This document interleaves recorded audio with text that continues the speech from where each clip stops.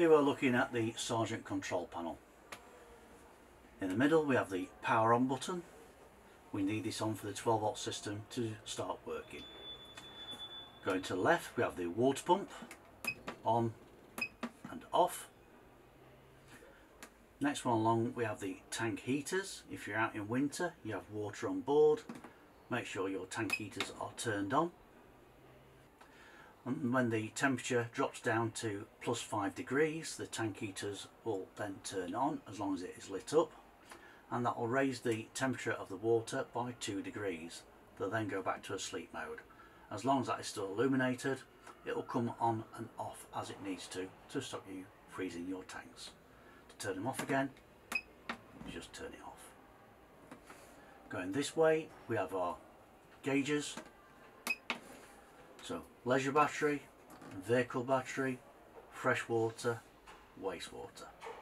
We know this is the fresh water because it has a hole at the top of the tank and this is the wastewater because it has a hole at the bottom of the tank. The leisure battery one is indicated by the caravan style symbol and the vehicle battery is indicated by a cab. If it is green it is good on the batteries, if it's yellow it is charging and if it's down to just the red it's dead. Your water will go up the gauge for the fresh water and up the gauge for the wastewater. When it gets down to the red that is your water running out and it will bleep at you. On your wastewater it goes up the gauge when it gets to the top it will bleep at you until your wastewater is full and that will need emptying. This one is your lights on and lights off. And this one is your awning light and that indicates above the door on the picture to indicate the awning light is on. Awning light is off. This one here indicates that you are plugged into the mains you haven't tripped the electric. At the minute it is charging the leisure battery. It will charge the weakest battery first either vehicle or leisure. It will then swap over and charge your battery on its own if you want to override the system, we just touch in the middle of the vehicle battery one. It is now charging the vehicle battery. It's indicating amber that it is charging. When it's fully charged it will go to green.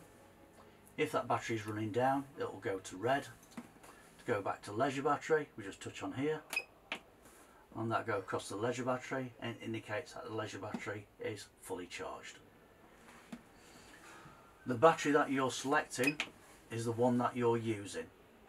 If you're not plugged into the mains, make sure you are not on vehicle battery, otherwise you become a caravan if that battery runs down.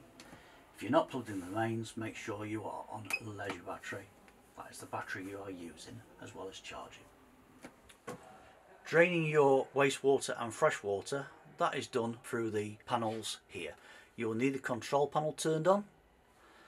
If it indicates red, on here that means that the valves are open and that is in the drain process.